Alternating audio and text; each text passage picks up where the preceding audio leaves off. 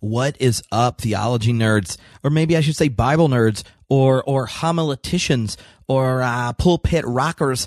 Cause this is the LectioCast and, uh, my name's Tripp. If you are a normal LectioCast listener, you're saying to yourself, uh, where is the good Dr. Daniel Kirk? Well, he is doing a very good Dr. Daniel Kirk type of thing. He is going on a massive road trip with his family. And he's like, look, um, do you don't want to leave the people in the lurch, do you, Tripp? Do you want to step up? Do you want to use that servant's heart you have, uh, and, and, and, and put even more audio minutes of you talking on the internet? I said, yeah, I'll do it. So my name's Tripp. If you uh, listen to LectioCast and don't listen to any of the other homebrewed podcasts, well, come on over. Come on over. Just go to homebrewedchristianity.com. We have a weekly interview show just called Homebrewed Christianity. There's the Theology Nerd podcast where it's more like stuff with my friends where we talk and nerd out, maybe some live events or, uh, you know, things I'm more like driving theologically. There's a LectioCast, obviously. There's the Culture Cast. Mm-hmm. I don't do that. Don't worry. Cause I basically love the nineties, mid nineties. Yep. Flannel, Kevin Smith, Pearl Jam. I got that junk covered. That's, I tapped out after that.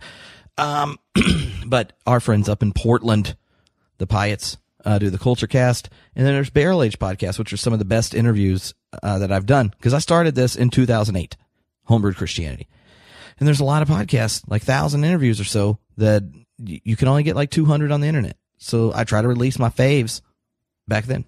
So yeah, go there, hang out because today I'm going to talk to you about the Bible passages for Trinity Sunday, which is coming up June 11th. Trinity Sunday. We are we are year A in the in the year of 2017, but year A on the lectionary. And the texts are well, the Genesis 1 creation story, Psalm 8, uh, 2 Corinthians 13, uh, which verses 11 to 13. It's very short. That's one says you should greet each other with a holy kiss, and then it throws a three part benediction with um, Father, Son, Holy Spirit. I get how it goes there because it's Trinity Sunday, but don't preach on that one. Yeah, do the others. And then there's Matthew 28, 16 to 20. So I want to tell you something. Um, I, I, I, yes, I have a, I have a PhD in philosophy, religion, religion and theology, and I am ordained and worked full time at a church until about two years ago when I started working full time at the hatchery here in Los Angeles. It is like a, I don't know, alternative type of seminary where if you want to start something up, you do a master's in theology, learn social entrepreneurship, and launch like a common cause community.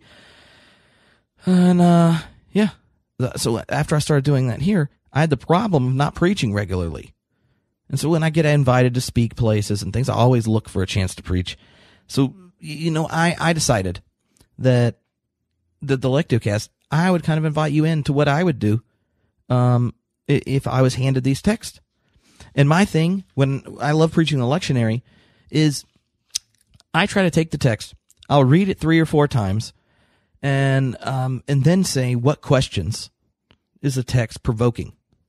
Because I find stories or examples or insights or or things to go finding more information when you dig deeper and you know reading your commentaries and things that they are driven uh, for me when preaching by the question. And that if you could find how the text confronts you, your community, the people that you, you serve, pray for, care for, uh, when you're engaging the text, then you can take that question and start to unpack it. Um, at least that's how I do it. I'm not saying you have to do it that way, but maybe that'll help you make sense of, of where I go with these different texts. And so, you know, if I was preaching this Sunday, and, and it's Trinity Sunday, and maybe we'll talk about the Trinity at the end. But um, I personally don't think anyone needs a sermon on the Trinity. But if you're going to do it, do it right. You know what I mean? don't use the egg example or the mist one. The water thing, don't do that. Um, add lots of Greek words. That helps Trinity sermons. Uh, but, but I think you should just stick, stick with one of these texts. And, you know, if for some reason uh, all of Nicaea doesn't come out of the text, then you don't have to fit it in. Maybe you'll use the creed if you're one of those types. But I would say wrestle with the text because um, uh, these are all high quality texts. Other than that Second Corinthians one's a bit boring. You know what I mean? Especially when you have Matthew, Matthew 28, the end of it. So this is the one I think I would I would first be drawn to, right? And here you have Jesus. It's a short text, so I'm just going to read it. I don't know why Daniel doesn't read the Bible to you. I, I Daniel, look, I I love the Bible. I'm going to read it. Anyway, in Matthew 28, uh, the text goes, Now the eleven disciples went to Galilee to the mountain to which Jesus had directed them. When he saw him, or when they saw him, they worshipped him, but some doubted. And Jesus came and said to them, All authority in heaven and on earth has been given to me. Go therefore and make disciples of all nations, baptizing them in the name of the Father and of the Son and of the Holy Spirit, and teaching them to obey everything that I have commanded you. And remember, I am with you always, even to the end of the age. All right. So here, here are the four, the four questions uh, that, that could send me, that send me out to wrestle with the text. Right. The first one would be the, the question would be, where is our Galilee? I know that they've probably been looking at Matthew, right? Everyone knows the Gospel of Matthew. It's like the it's like the most popular one. Maybe John, but I think Matthew's probably the most popular. Definitely was in the early church. You got Matthew, and it says now the eleven disciples went to Galilee. Now there's a number of theologians that have made this observation. Uh, Gustavo Gutierrez, Andrew Sung Park um, uh, are the ones that pop immediately to my head. Uh, but you know, how did the disciples go to see the resurrected Christ in Galilee? They got directions from a woman, right? The disciples don't ever end up encountering the resurrected Christ unless they trusted the witness of the woman who comes and like, go meet me in Galilee, right? That just happened a little bit ago in Matthew. Um, and it's important because Galilee was not Jerusalem where everything went down. When Jesus confronted the religious political uh, powers of that day, right, during Passion Week and such, you were in the center of power in Jerusalem. But Jesus wants to reunite with his disciples in Galilee, the outskirts of power on the side. So one of the questions that to me could really shape this, this, sermon is where is the Galilee today? Where do we have to go to encounter uh, uh, uh, Christ, the the crucified and resurrected Christ today? I think that oftentimes, um, the, the this text gets hung up on, you know, like the go baptize, teach them to do stuff thing, and it easily gets turned into the justification for kind of American Christianity, uh, witnessing slash imperializing, where you go, you have the whole truth, you're handing it to others. But for people who are, are members of Christ's body and citizens of the most powerful uh, country in the world, um, the the question of where is our Galilee is an important one. That that's where we go to encounter uh, the risen Christ, to be reunited with the one who binds us together, uh, to encounter um, the God's proclamation of hope in the face of death, dealing, cross, building power. Where's your Galilee? And you could be, um, uh, I mean, I could just think of like stories of yourself, like where you encountered someone, uh, stories in church history where going into Galilee, going to the places on the outskirts and stuff, uh, encounter and shape the mission of the church. Because once you answer that question, then what it looks like, right, to to baptize people into this body, the one that's brought back together in Galilee and not Jerusalem, is, is a powerful thing. Anyway, I'm sure you can just Google, you know, theologians, Galilee, and the outcasts, and, and really sweet stuff come up. Second one that came up is, uh, in my head is, um, uh, the line where it says, when they saw him, they worshiped and some doubted. Can we worship and doubt together? It's a question.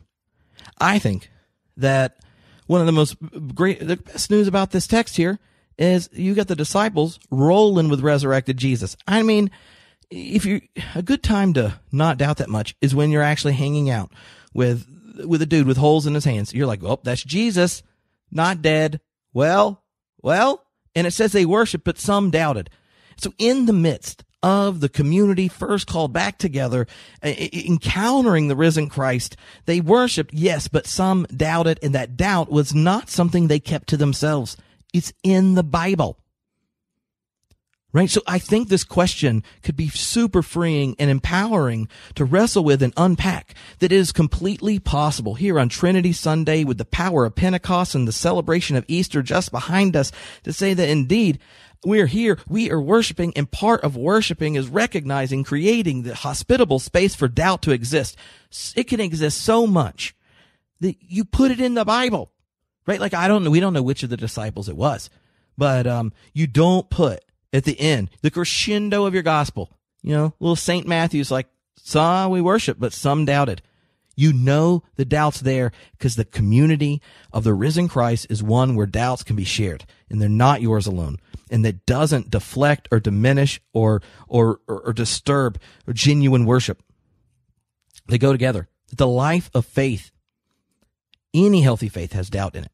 And I think you can rock that right there.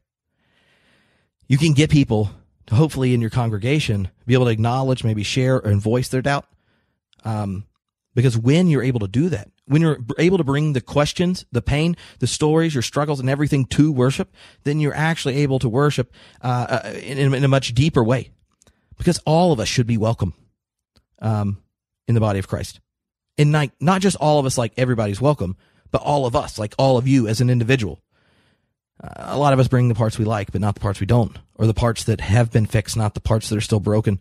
We bring um, wounds with scabs but we don't ever share them. We cover them up and stuff like that.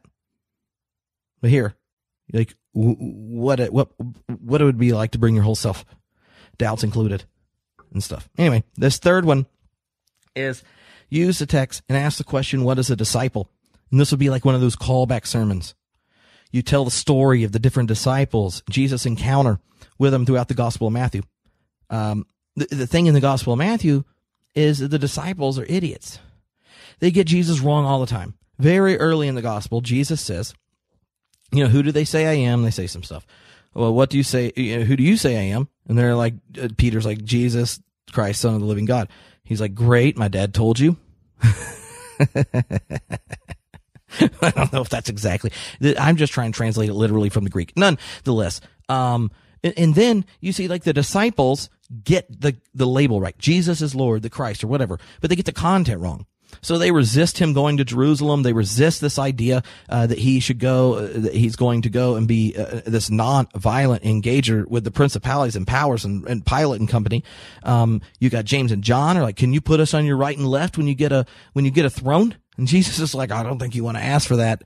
He's talking about the cross, like you know. Anyway, and then Peter's like, "Whoa, Jesus, you're going to go to Jerusalem. They're going to kill you there." And Jesus smacks him. I don't know if he smacks him. In my head, he does, but it's a friend smack. You know, like a whoa Whoa, let's get this straight. Not like a violent smack.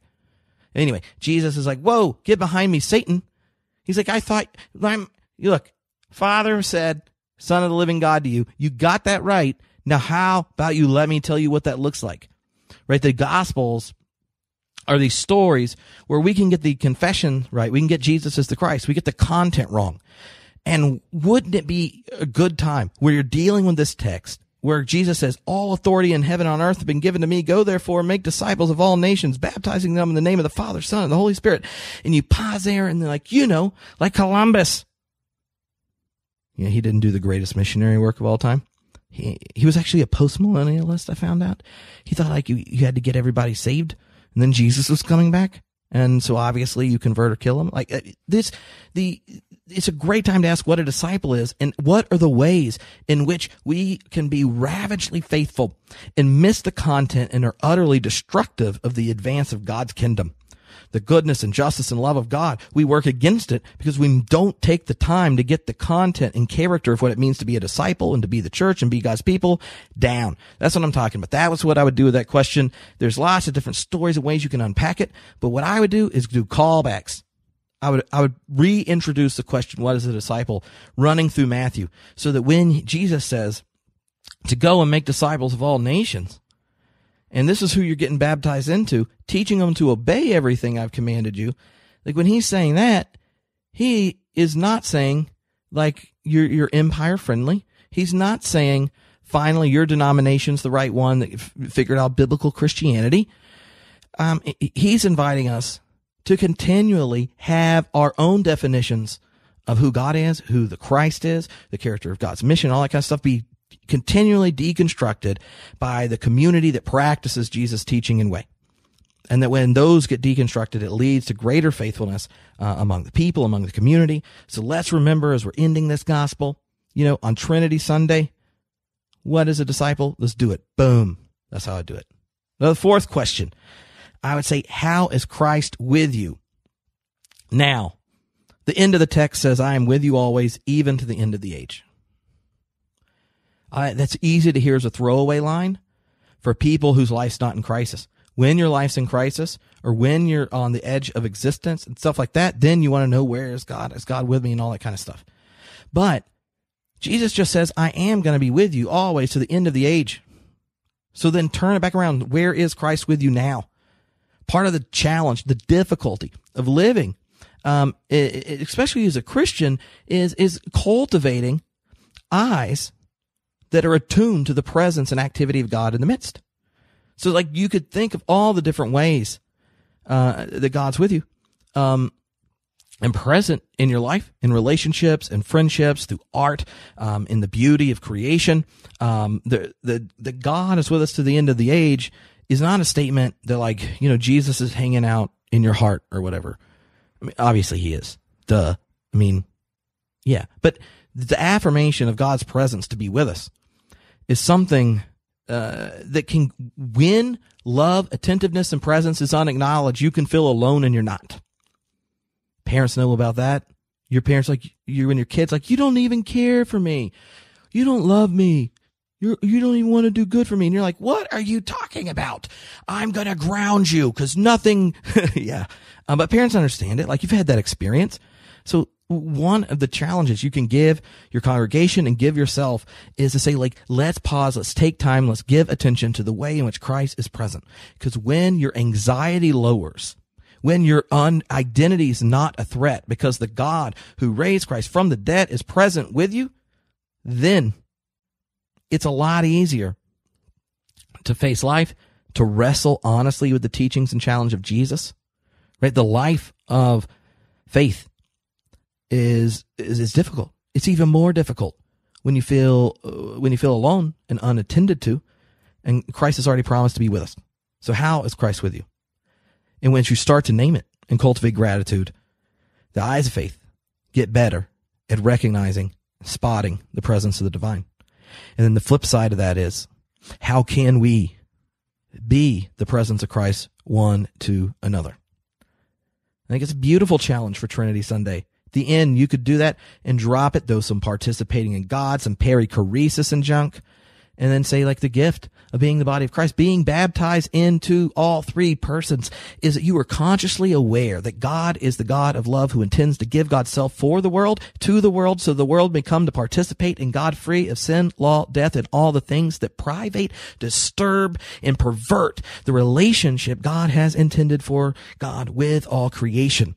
It's an invitation to, to, to know that your true identity is one that exists in the divine life itself. The Trinitarian doctrine is not just, oh, we had to figure out how Father, Son, and Spirit get together because they're all baptized or whatever. The doctrine of the Trinity comes from the church insisting that the fullness of the one true and good God fully participated and was present in through the body of Jesus and continues to be. And that what God gave in Christ in this material encounter was not just an intervention into a world bereft of God, but the eruption of God's intention for the world. So Jesus is the first fruits, right? And the other fruit is ripening and to be born in us and in the world and in creation. And so, boom, there you go. That's a Trinity bit. I wasn't even planning that. Yeah, that's very, you could, you could totally find some Moltmann lines because everyone knows all the cool kids smile when you quote some Moltmann at the end of junk. Mm-hmm. That's what I'm talking about. The uh, the other thing that popped in my head about um the the Matthew passage is, uh, a number of the questions could really get to it. The way in which we as a church see our identity and its relationship to the kingdom of God, um, and that a lot of times the church uh, misses its provisional understanding. It takes this declaration uh, uh, of going, you know, out into the world as some some sense like eh, justifying a divine monopoly or whatnot. Um, and I think differentiating, especially in the Gospel of Matthew, it's always talking about kingdom of heaven this, kingdom of heaven that. Realize that like the church and this mission is not an end in, uh, an end to itself. We're called, and, and the reason Jesus is like baptize them, teach them to obey what I've done is because God's desire is for the kingdom to come on earth as it is in heaven. You know, where God, God's desire, dream for the world, uh, is, uh, is made present through our corresponding faithfulness to the God who's ever faithful. So the taking some time in a text like this that's usually attached to the church's mission, right? Sent out and differentiate that. No, we're to create disciples who are faithful to God's dream for the world, the kingdom of heaven. And that may or may not correspond to our building campaign. Um, yeah. Anyway, so there's that. All right. So, um, you know, I know Daniel, Daniel gets these done shorter, but see, I, I get excited and my little five words that I thought they're going to trigger my thoughts for Matthew got me going. I started talking. So, uh, I'm sorry. Um, if it's, if it's too long for your procrastination, but we're going to go to Psalm 8 because I like Psalm 8. Psalm 8. And this is again a short one. So I don't know why we're not going to read the Bible here. Um, I'm not going to read the Genesis 1 text. All right. But we'll do Psalm 8. Ah, O Lord, our sovereign, how majestic is your name in all the earth. You have set your glory above the heavens. Out of the mouths of babes and infants you have found a bulwark because of your foes to silence the enemy and the avenger. Mm. When I look at your heavens, the work of your fingers, the moon and the stars that you have established, what are human beings that you are mindful of them, mortals that you care for them? And yet you have made them a little lower than God and crowned them with glory and honor. You have given them dominion over the works of your hands. You have put all things under their feet, all sheep and oxen, and also beasts of the field, the birds of the air and the fish of the sea, wherever passes along the paths of the sea our Lord, our sovereign, how majestic is your name in all the earth. Okay, so maybe I'm changing my mind. I might, I might preach this one, and if I did, I, I, I got a few questions that would drive drive my sermon. Uh, first is the closing and opening line. Like this, uh, okay, I think that this psalm is one. It's a psalm of orientation um, as Brueggemann talks about it. It's one, uh, I think in part of its formative practice when you're singing it is it teaches us to understand the world as creation. And I think it's important to differentiate the two, but it might just be a difference that theologians obsess with. Right, but everyone sees the world. It's all the things that appear before us, we encounter and engage. But the world can become creation. We identify, understand, interpret, receive the world as creation. That transformation, I think, is something the Psalm's inviting us into. It's orienting our interpretation and encounter with existence and life to encounter a world that is creation, creation of the one good God, our Lord, whose name is majestic in all the earth. And so it's not God generic. Like, oh Lord, our sovereign. We're talking about the divine name, the God who gave God's name Abraham, Isaac, Jacob, that whole story. The name that is this giant story of fidelity. The one that, you know, freaks everyone out when it's like Moses, like who should I say is calling? And then you get the, I am who I'll be, I am who I am, I am what I am. That one.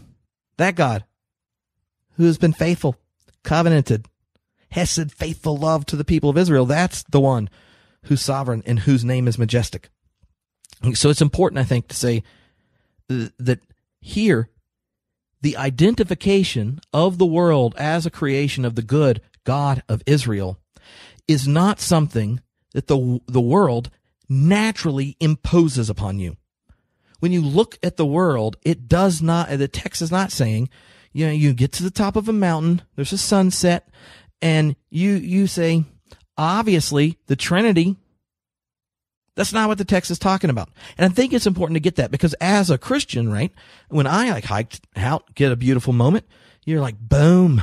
And you're like, this, this is a gift of God. Um, or you have a like moment where a friend forgives you and you're like, praise the Lord. Or what, you know, like we, we need to recognize this isn't saying that the creation itself demands a response to the one whose name we know from history encounters in that relationship. Um, that, that the encounter with God in God's history of salvation and presence in history in our, in the community of Israel, uh, is one where because of how God has shown up and been faithful the world becomes creation. And this is a connection I think that's important to the Genesis text, uh, the first creation story. Um, Gerhard von Rad in his commentary on Genesis points this out that uh, the creation stories are kind of like a uh, they, they were like the required setup for the real deal, right? Like God's redemption of Israel, God's liberation of the people, God's redemptive encounter, covenanting connection between Abraham, Sarah, and company, like that. That's Front Street. But then once you realize that you have encountered the one good, life giving God, then you got to get a preface. And so you, you tell these creation stories, you know, uh, that makes sense. But the identification of the world as a creation of the one good God who made the world and calls it good is a theological conclusion you get to after you've encountered God or known and loved and cherished and, and, and redeemed by God. The, the, the, kind of the theology of creation is a retroactive uh, concept. And I think um, when we read this psalm, uh, it, it's inviting us, it's cultivating the language, the prism, the, the spectacles of seeing the world as creation. And that's where, why it's connected to the name, the name. The other thing in it, um, the question, like that wasn't even one of my questions, actually. I have to tell you, I just thought of it, seeing the world as creation. And I was like, oh, I'll say something about that. And then minutes went by. Sorry. My question. Uh, the first question is, um, um, God's good creation in here. He says, you've set your glory above the heavens. Like you get this sense in here and in the creation text that God creates in part by creating boundaries and creating habits. And what these boundaries and habits of the good creating God do is allow life to flourish. Right? You know, put water here, land here, or you set your glory above the heavens and you got like heavens here, earth here, and that kind of thing. And that the, the, the order and structure of the existence that gives the context for this creative, uh, living interaction is a, uh, um, it's, it, that space comes from, uh, that, uh, having the proper boundaries, having the proper order is a necessary part for creation. It's like uh, blues music right? It's really simple music, but you do it so that then you can, you can go on the solos and, and rock it out. You can bend a note where your face looks like it's hurting and everyone knows you're hurting because it's blues music and you're supposed to look kind of constipated while you play it. Or like jazz music. I mean, like music is one of those things. You have structure and order and things, but it's so that creativity can flourish. But then you could say, I think that's a good question. We look at it in our world and a lot of us, a lot of us want more life to exist in our own lives, in our family, in our world and stuff. And yet we are uncomfortable with creating uh, habits and boundaries for God's creative work that happens within them to take place. Um, so uh, yeah, talk about habits and boundaries and what happens in, in, in the spaces. Um, the other thing is, uh, the, the, the passage about like when I look at the heavens and the work and, you know, I see God and stuff. I think one of the questions is, uh, what is it like to go God spotting? Right. Like I, I live in Los Angeles. Um, before I started teaching full time, I worked at a rather large UCC church with a lot of people, you know, that are in creative, the industry and such. And, um, one of the things I learned from a friend of mine there that, uh, does, uh, cinematography is, uh, like part of the gift of cinematography is learning how to spot the energy in a scene. Really, you could have like the perfect take, like perfect script, perfect acting and all that kind of stuff but if you don't know how to capture the energy of the scene, it, it could feel wrong, right? And, and, and it would describe it. And, and, uh, one time we were, we were doing this, uh, series of, uh, an experiment. We would do these experiments for, you know, um, we'd have a small group. Let's do an experiment in truth. Let's do like a month where we're going to cultivate this discipline, this habit, this practice. And we, we were in a group of dads, um, trying to cultivate gratitude and he came up with what we were going to do. It's the first couple, uh, you know, first time you get together. We know we're coming. We're going to cultivate gratitude together. First couple weeks I have kind of planned and then it becomes more led for the second half with the participants. And he came up with this activity called God spotting. He tells us, you know, like find the energy in the scene and all that kind of stuff. And he says, you know, once you know how to see it, then you know how to see it and you can get it Um, but you don't until you really learn the art of spotting the energy, the center of energy in a scene. You know, you're just, you're just taking pictures. You're not making a film. And he said, I think God's like finding God's presence in our life is a lot like that. Uh, so what if part of our gratitude isn't like a beginning and ending day thing? Um, let's cultivate gratitude all along. And maybe like when you're cultivating gratitude, part of it is going God spotting throughout your day, like the way in which the goodness of God is made manifest. Can you learn to hone your life, your eyes on that? And so, like, when I look at your heavens, the work of your fingers, the moon and the stars that you have established, what are human beings that you are mindful of them, mortals that you care for them? It's a beautiful psalm. But a lot of us can look at the same heavens, the same moon and stars, and go, What were you thinking? This is not the best put together universe. The sun's going to swallow us at some point. Like, you can already hear, you know, it's like Debbie Downer of the, of the stars. The stars don't change, but our experience of it does. Depending on what you learn to put the energy, the scene, the God spotting element, put the camera on. And so I think I would use this. And as a, as someone that tends towards the hypercritical, uh, with nihilistic undertones, I could do a good job explaining how that is the cheesiest, naive version of looking at the stars ever. And then go, but what if it's the most life giving thing to cultivate? And then I would like pull out stories of some of the most brilliant scientists who do the same thing when describing like quantum mechanics or stuff like that and say like it's not actually about the world. It's about creation. Seeing the world as creation, as a gift of the good God who knows your name, knows your face, and cares. Um, if you want to do it, the second half about like the whole like dominion, uh, we have dominion over things as God has made us a little lower than angels. And, uh, there you can talk about, uh, ecological responsibility how the problematic the notion of dominion has turned into, uh, because it's a dignity to have dominion here. It, it, it is a, uh, a vocational, um, connection to like, uh, uh, to God and God's identity as creator that we're cooperating, participating consciously in being a steward of existence and life. Um, and that, uh, the text is one where I think you could draw a strong contrast between the picture here of dominion in which the livingness of living things uh, is acknowledged, right? You, you talk about all the beasts in the field when it talks about oxen, sheep, and the birds in the air, the fish in the sea, whatever passes along the paths of the seas. The way it describes it uh, are all these living participants in the world, in the place where they live. We have pulled most animals that are on this planet are domesticated and don't live any existence similar to what they were intended to do. Right? Cows were not made never to move, be pumped up with, with drugs and sit and have a miserable, painful life before they're turned into our food. The birds of the air cough the fish of the sea are like, have y'all thought about not having so many bags? And maybe don't just throw junk. So I feel like, you know, you can, you, you can get to unpacking the ways in which we have perverted the notion of our, our, our responsibility to, to, to the, to the life across the world. Um, because we have actually destroyed, um, the very air and sea and land and fields in which they live.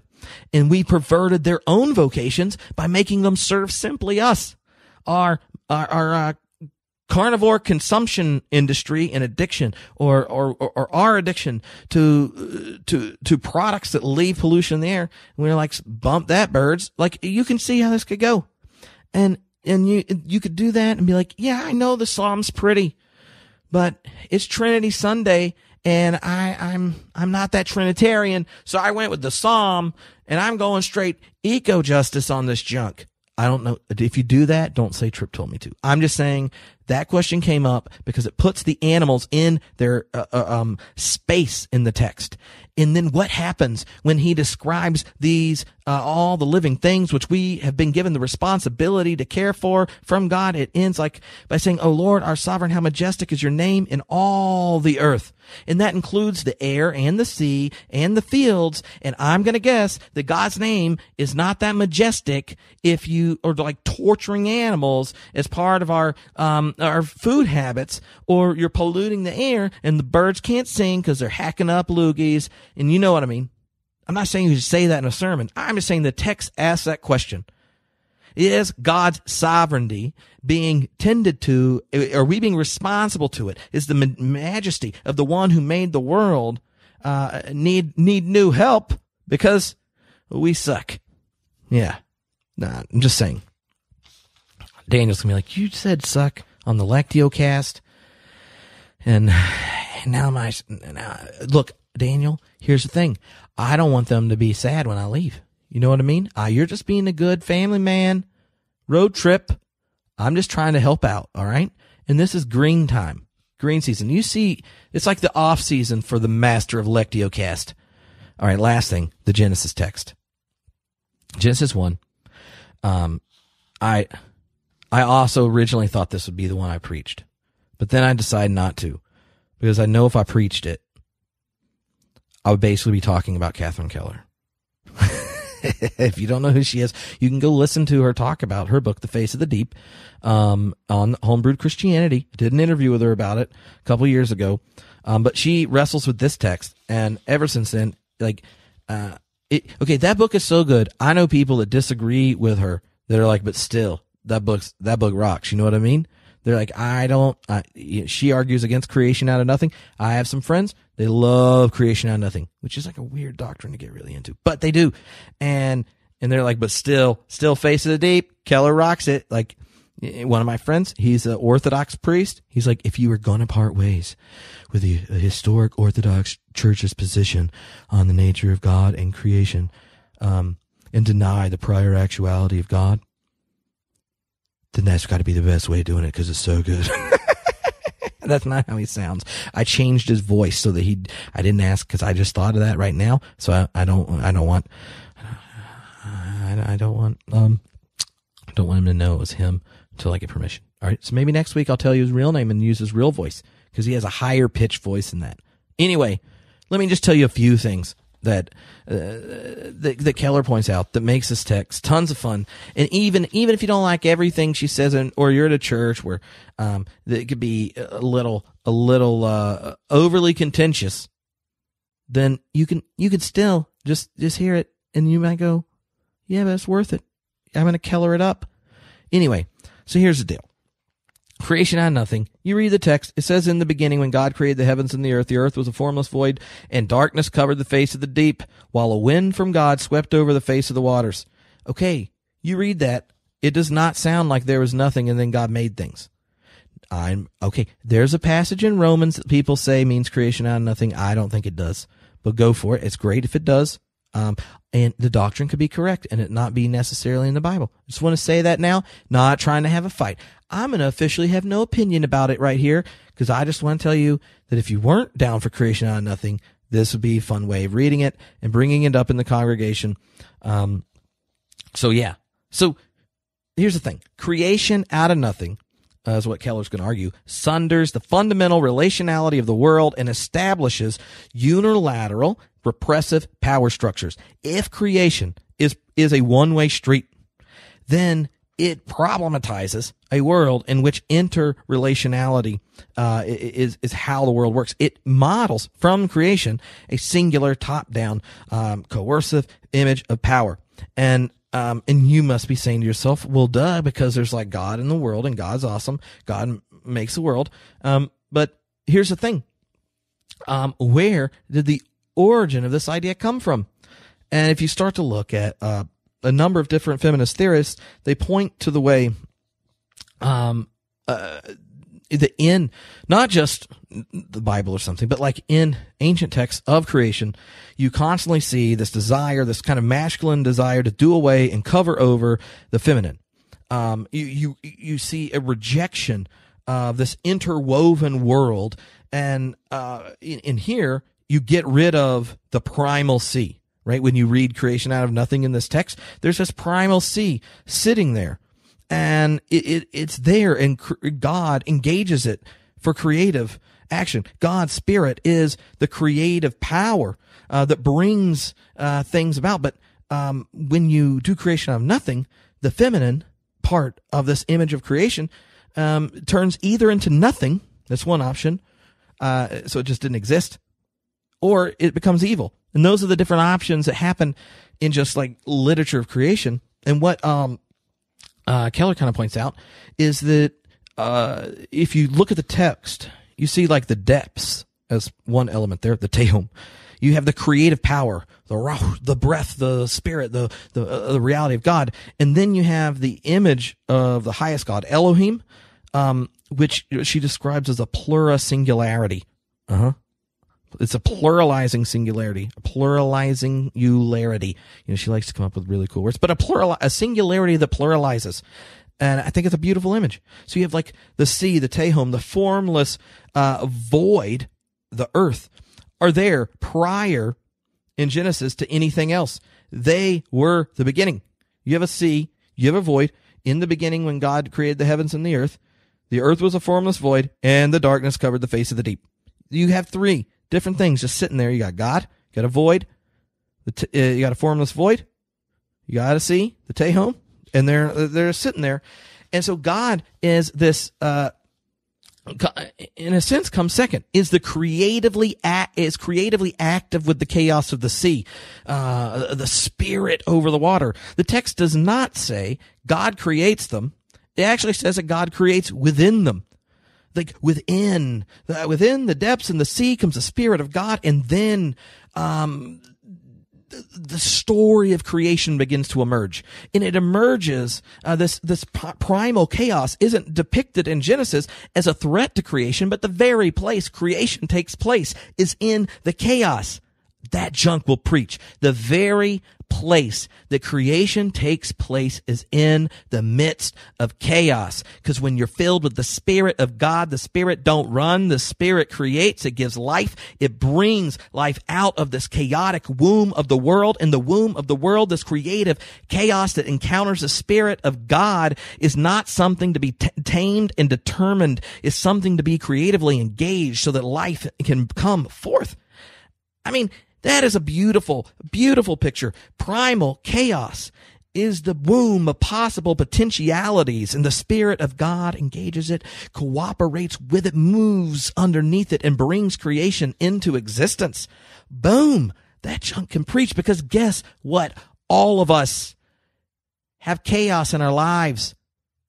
And if God is found creating and bringing new things into being by creative, redemptive encounters in the midst of chaos, not conquering it, but opening it up to new depths and new possibilities, then the Spirit of God, which brings life into existence, is something we can find in the midst of our chaos. And our chaos in our lives is not something to be suppressed and denied, but seen as an opportunity for a new transformative encounter with the Spirit of God that hovers over the water if the world is a great ocean,